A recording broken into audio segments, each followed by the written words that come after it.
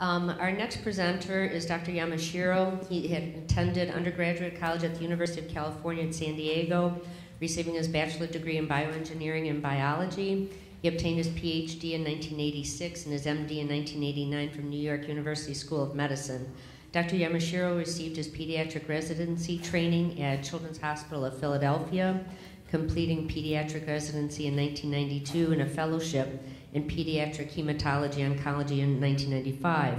He was on staff at the Children's Hospital of Philadelphia for two years prior to joining the faculty at Columbia University and the New York Presbyterian Morgan Stanley Children's Hospital in 1997. He is currently an associate professor of pediatrics and pediatrics and pathology and cell biology. Dr. Yamashiro's major interest, uh, clinically and scientifically, are pediatric cancers such as neuroblastoma and Wilms tumor. His focus on the, is on the identification of novel therapeutics for the treatment of neuroblastoma. He has funding from the Alex's Lemonade Stand Foundation and Hyundai Hope on Wheels. Dr. Yamashiro is also the chair of the Medical Advisory Board of CNCF. Dr. Yamashiro.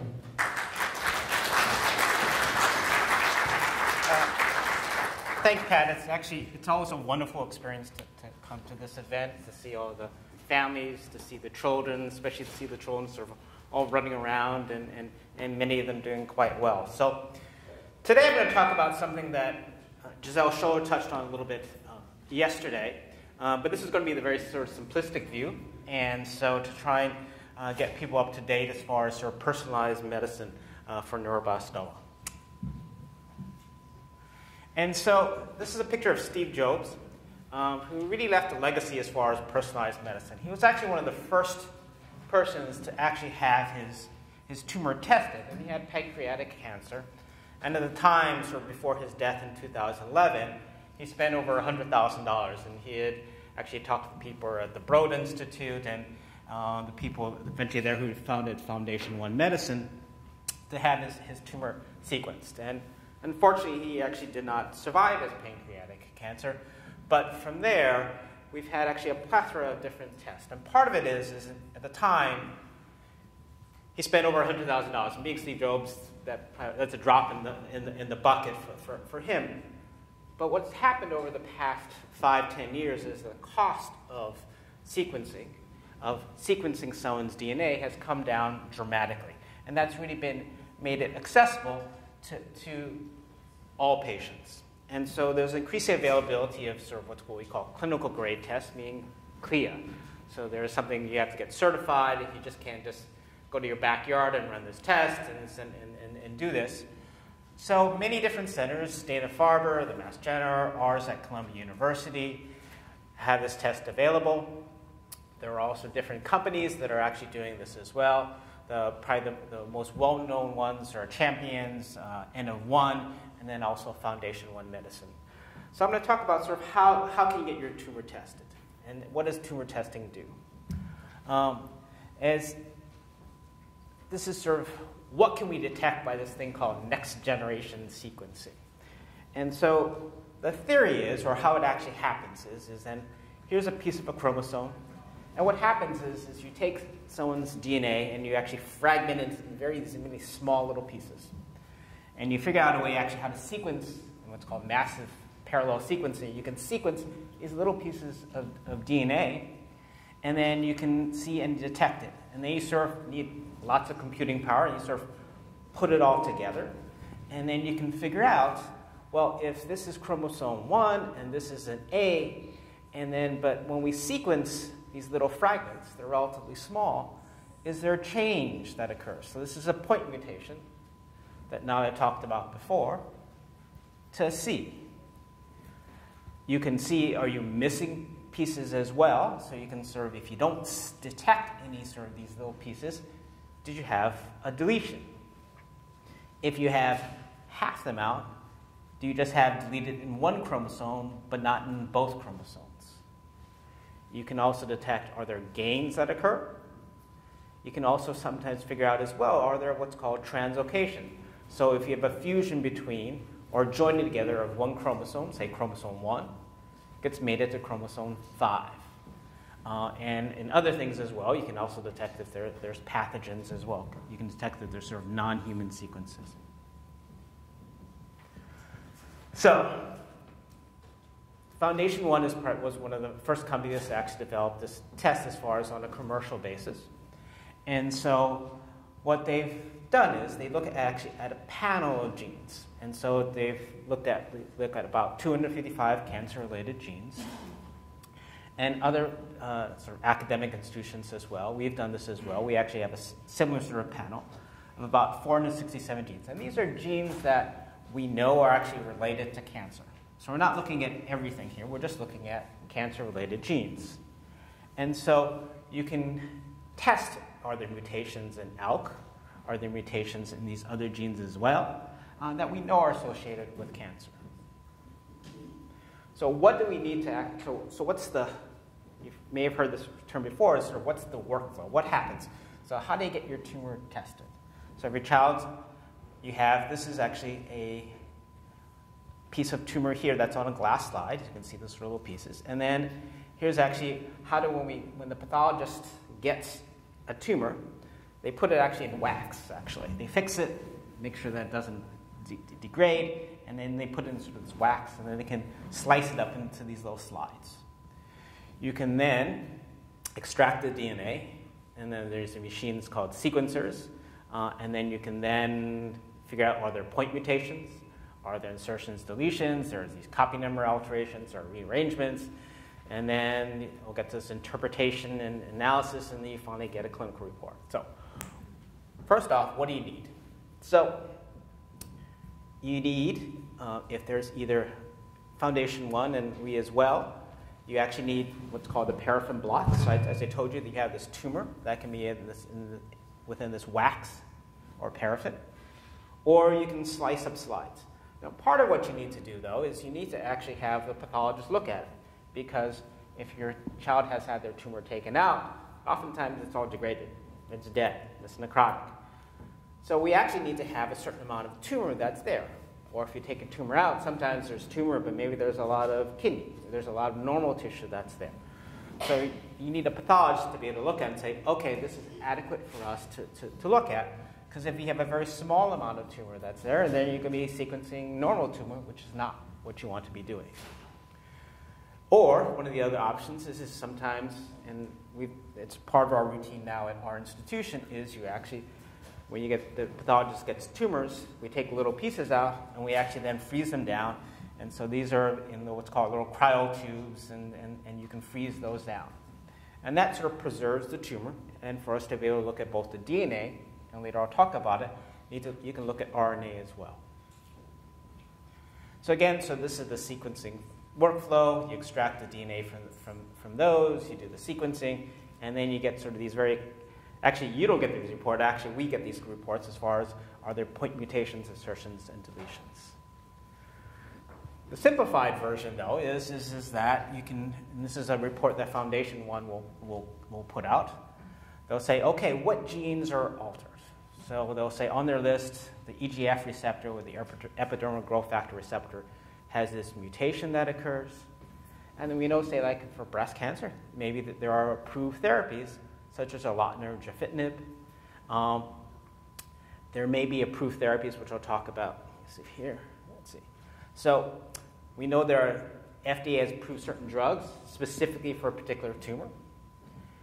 But then we also know that that there's a target therapy for another type. So you may have breast cancer, but there may be a drug that's approved for colon cancer. So, because the FDA has approved it, you may in fact be able to use that. And the third report that you also get is to say, are there clinical trials available for this particular drug? So I'll give you examples of the, of the first. So vemurafenib was approved for therapy for melanoma. So in melanoma, probably about 30 40% of the patients have a mutation in what's called BRAF. And so here's the wild type. So there's a receptor, there's protein called BRAF, and then it acts and activates this protein called MEK. But in the case of melanoma, there's a mutation called a V600 mutation in which it actually overly stimulates MEK, and by that means you get increased proliferation, and you actually suppress what's called apoptosis, which is actually how a method, mechanism by which cells uh, are programmed to die. So this is sort of one of the, the this is a PET scan of a patient with melanoma who has all these bright areas here, all lit up with their melanoma, and then they got treated with vemurafenib, and actually hit, the patient had cerebral Walker spots. So, so this is one in which vemurafenib is actually approved specifically for melanoma, for those patients who have a BRAF V600 mutation. So, how many drugs out there are, are what's, what's called target therapy or approved? So, for adult cancers, which is all in the blue, there's a wide variety of different drugs for different conditions breast cancer, brain cancers, colorectal cancers, etc., a lot for, for lymphoma, a fair amount for leukemia, that are approved for those indications. But the problem is, is for pediatrics, there are probably actually only two drugs that are, that are actually approved for a pediatric indication. One is everolimus or Afinitor, which is approved for uh, a condition called SEGAs or subependymal giant cell astrocytomas in patients with tuberous sclerosis. And then there are patients who, uh, uh, with leukemia who have specific translocation who have the one medicine called Gleevec or imatinib is approved. So there's great, there's a lot, wide variety of different drugs, but there are very few that are approved for pediatrics. Hopefully, as far as targeted therapies, we talk about antibodies, uh, hopefully relatively soon we'll actually have the CH1418 antibody, and we can add that to the list as far as targeted therapies that are approved specifically for pediatric cancer. So, but as, as I mentioned, there's the second way you can try and do this. Is there a drug that's approved for some other indications? So crizotinib, which you've heard again a lot about, is approved therapy for ALK translocated non-small cell lung cancer, and it can be used for patients with neuroblastoma who have the ALK mutation. And so one of the problems, though, is, is, is, if you're using a drug that's approved for an adult indication, is how do you figure out what dose to use? I mean, I think that's one of the things that we struggle with. If you have a two-year-old, A, may not be able to swallow the pills, but B, what's the correct dose for a child versus an adult? So for some of these drugs, we actually have done phase one testing, and we figure out what's the pediatric tolerated dose. And so for drugs like imatinib or there, other, these other different drugs, we actually sort of know what the dose range is for those particular patients, for, for pediatric patients. So we can actually calculate based on how big they are. But we don't have that for all of the drugs, so that's something that potentially you have to extrapolate. And I'll point out this as well. This is not a complete list. Talk to your pediatric oncologist if they're going to be used on these, these drugs or other drugs as well. The other thing, which Dr. Reynolds pointed out as well, you can have you can have horse pills, and how do you get them into children? This often is not a suspension that you can actually give to, to, to children. For crizotinib, there actually is a formulation. There's actually a liquid formulation, although you actually can't clinically get, or you can't commercially get that. For crizotinib, you can get the, the, the, the capsules, but one thing we don't know is, is actually how do you give it to the kids? You crush it, you cut it, how well is it absorbed? We don't actually know that for many, many of these different agents. And so that's one of the obstacles we have to overcome for children who actually, if we try and give them drugs that are proof for, for adults. The other obstacles that we get, which you may run into as well, is that these drugs are pretty expensive. Uh, so if you want if you want two pills per day of crizotinib, it's actually probably about ten thousand dollars. That's for, for, for the adults. And so the problem is, is, is that getting the insurance companies to approve these drugs for your patients. Dr. Scholzer mentioned that yesterday as well. Oftentimes we can do, but it's a negotiation. We have to hassle them. We have to call them up. We have to, to keep on talking to people to see can we get this drug approved and to get it to the patients. I'll give you an example of one patient I'm taking care of now who I'm trying to give one drug called ruxolitinib for a different type of cancer. And there's an approved do- uh, uh, dose for adults. And so in the phase one clinical trial for, for, for pediatrics, the dose is about four times as high. And for treating her particular type of cancer, I really want to give her the much higher dose. But initially, the drug company said, well, we'll give you one pill per day. And we said, no, that's not good enough. Went back says, we wanted to get like four pills twice a day. And they said no. And so ultimately, we had to settle for less amounts because otherwise we couldn't get it. And so that's what, we're, that's what we sometimes have to struggle with to try and figure out to get the correct dosing for, for, for, for children. Okay. The other way you can, you can get your, your, your child these medications, so not all these drugs are actually FDA approved, so you can't just necessarily walk into the drugstore and get it. So crizotinib you can get off, sort of off the shelf. Um, but there are other drugs, there, and these are the COG phase one trials where we're trying to figure out what safe is the safe dose. And so this is crizotinib. The ADVL1211 is cabozantinib, which also inhibits the MET and VEGFR receptors. But the other, I think, one part about the clinical trials now is, is that we often find that, as Dr. Shaw pointed out with the crizotinib, they don't always work well as just a single agent. You see some indications that there's some activity, but in fact, you need to actually give it with chemotherapy or other agents. As Dr. Reynolds pointed out, Fenred sometimes doesn't work, works okay, but then you start to you need to give it to other, with other agents like ABT751 or vincristine. So the ADVL1212 is crizotinib in combination with conventional chemotherapy, topotecan cyclophosphamide, or vincristine doxorubicin. There are drugs which are not approved yet, and so the only and um, there's no way to get these particular drugs unless they're, they're, your child's enrolled on, on a clinical trial. So there's a what's called a WEE1 inhibitor, uh, which is involved in sort of cell cycle, which uh, is combined with irinotecan. And was, there's also something called a PARP inhibitor as well.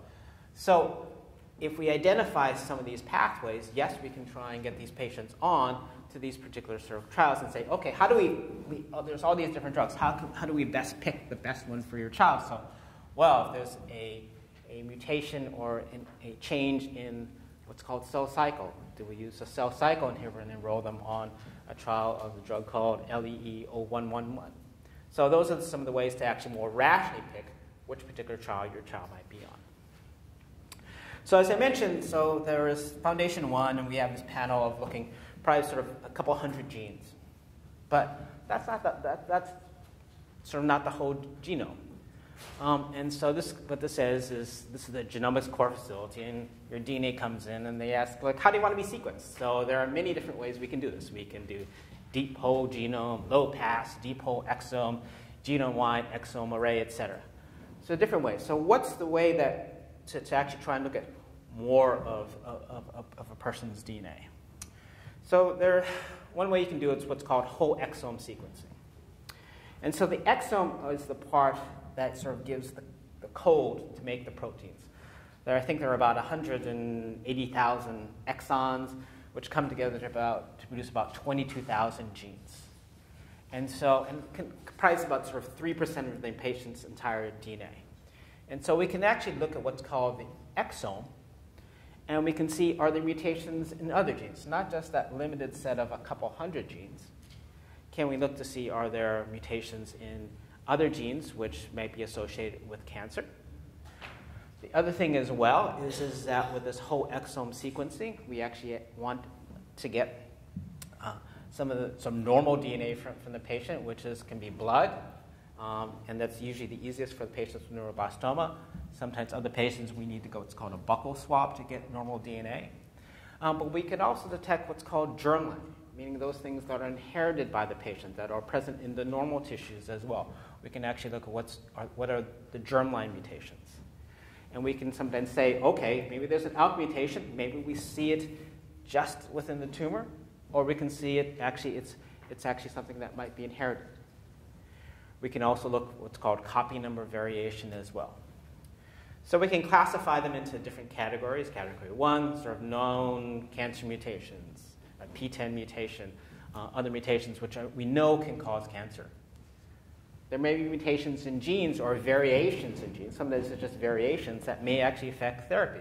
So from the pharmacogenomic standpoint, there there are, there are differences we have, say, how we metabolize genes say there's a particular gene that, that's involved as far as the metabolism for irinotecan. We can look at that as well and say, okay, this patient may be much more prone to developing neutropenia if they get irinotecan because they metabolize it less well.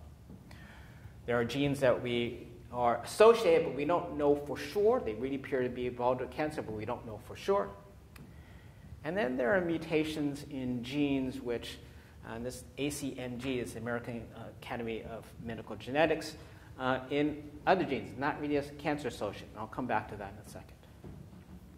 The second part we can, can look at is what's called the transcriptome. This is actually looking at the RNA.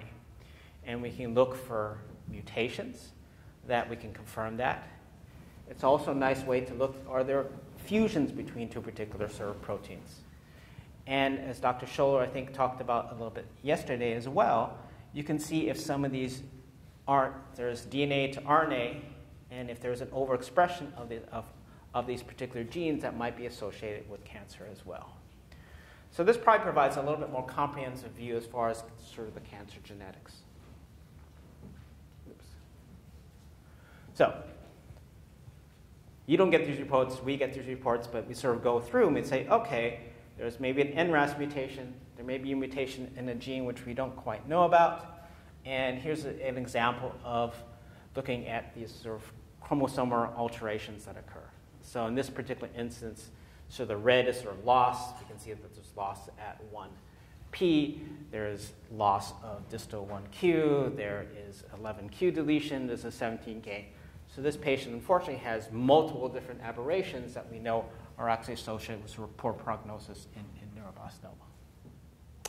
So if you start looking at all these other genes, one thing you may see is two things. You, you may see variants of unknown, this thing called variants of un, unknown significance, or VUS. So what's VUS mean? So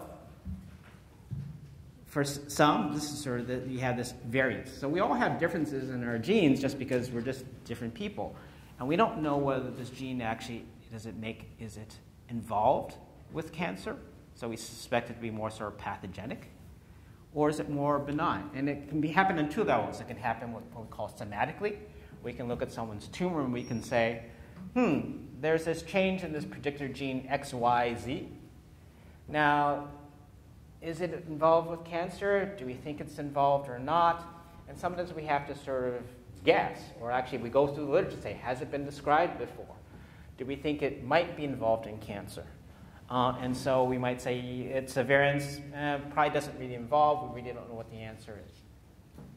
The second thing is, is, is that we can look at the, what's called the constitutional level, meaning that we can see changes or differences in a gene, and it may be in a gene that's a normal gene that you have, and is it, does it make you predisposed to something? We don't always know that particular answer.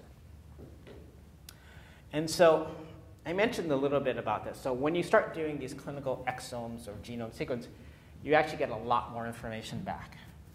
And it has implications not only for the patient, but for the family members as well, for the child, for the parents as well. And so there, if there's something that the child inherits, some people ask this is, does my daughter have that? Or there may be like a BRCA mutation that you might see, which may or may not be involved so much with the patient's neuroblastoma, but maybe it has implications for the mother who may be then at risk for developing breast cancer. So there are certain, rec- certain genes that, we, that, that the ACGME actually says, okay, we should return these information. There are probably 20 diseases and 60 genes. Okay. This is a, a fluid situation because, as I mentioned, we, this hasn't been available for all that long. So there are people who say, okay, you have the genetic libertarians, so we need to return everything to you we have on the sort of the pragmatist or the empiricist that says, well, we'll only return data to, to, to, to that are what we think is significant and not, and we'll limit that amount. It's one of, if you go and try and have this testing, one of the questions that people are going, that your oncologist is going to ask is, do you want everything? Do you want just a limited amount, which is probably this instance? Um, if you're dealing with your child who has neuroblastoma, they're getting treated, do you care so much about this? You're really focused on this aspect of how it relates to their cancer, but do you want to know all the other information? And there are families who say, we want to know everything, and there are families who say, we don't want to know anything. And often that's times the parents have to make a choice as far as what they want. There are, with the ACGME, there also there are incidental secondary findings, and this is sort of non-cancer ones, um, that, that you may want to get, that we should say should give back. So it may actually no impact as far as the patient's treatment. Um, there are things that these, a lot of these are actually involved with the heart, Marfan syndromes, hypertrophic cardiomyopathy, sort of big heart. Um, there's familial hypercholesterolemia. There are things like long QT syndrome. So some of the medications we give, so for instance, may give you a prolonged QT, meaning that you're what that means is, is that this is sort of an EKG in which you have there's sort of the beat of the atrium, then we see the contractions, then we see these other signals. If it gets prolonged, it means that you're, there's going to be delays as far as the, the, the, the, the, um, the heartbeat, essentially. And that can be, if it's very, very prolonged, it can be actually detrimental to, to the patient. So these are some of the things we can actually find on these sort of incidental secondary things as well. So what's the cost? Okay, the list price, these are all list priced is about $5,800. Our Columbia combined panel is about $5,700. If we do our cancer sort of whole exome, it's about 8200 So that's the list price. So as you probably are all aware, you get there's sort of the list price that the insurance companies get billed, and then there's the, the cost that actually gets really reimbursed or actually gets paid by the insurance company. Um, and so that's what's billed. So it may not be that actually that's the cost you will you'll get back, but um, this is sort of what what's the list price now. And I think all the companies are roughly about the, same at this point.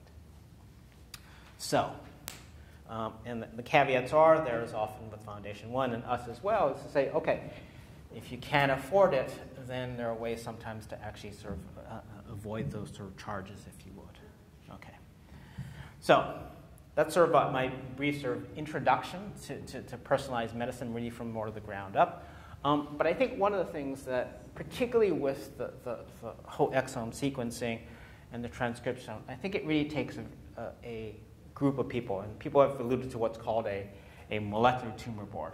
And so what it really takes is sort of pediatric oncologist. This is Andrew Kung, Julia Glade Bender, who's really leading our, our effort, which we've turned it sort of PIPSEQ, called precision in pediatric cancer sequencing program. Um, but it also takes knowledge as far as the new drugs, the development of therapeutics a- aspect. So Julia heads that up along with some other people as well. You have your geneticists. You need your pediatric surgeons. We have various different pediatric surgeons to actually can you get adequate tissue and to get that. The PGM or PGM Pro or personalized genomic medicine, uh, the pathologists there really do a lot of the work trying to figure out what we think is a real mutation, and what's not, and then you also have the lab researchers. I'm sort of in, actually, most of us are in, different, in many of these different camps, but as far as trying to make sense of some of these mutations that we may in fact have. So, with that, I thank you, and I'll take any questions that you might have.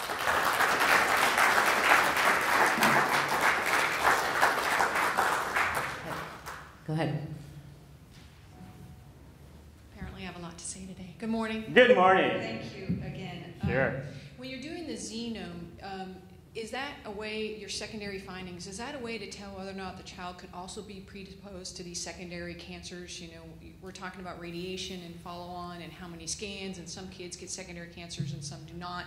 I mean, is it, could that potentially show whether or not that's a concern of yours or whether or not it's not? Uh, it, it, potentially could. We don't know necessarily all the predisposing factors that actually lead you to actually get these secondary cancers. Um, if you have a BRCA mutation related to actually for that's related to say breast cancer, those are things that you actually sh- should know. If you have defects in the protein called ATM, you may be more disposed to, to breaks or damages to the DNA. So yes, you can actually get that through through through the hexo- whole exome sequencing. You can get that sort of separately by the geneticists at this point in time to say, okay, we want a just a constitutional, meaning that we're just going to give normal blood, we may want it for mom, we may want it for dad as well, just for them to do that if we think there's some sort of genetic syndrome. Um, but you can get much of that information from, from when we do our testing as, as well. Thanks. Anyone else have any questions? No? Okay. okay. All right. Thank you, Dr. Yamashiro.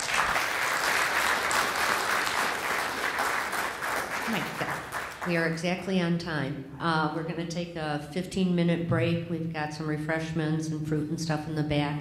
So we'll be back here at uh, 11 o'clock.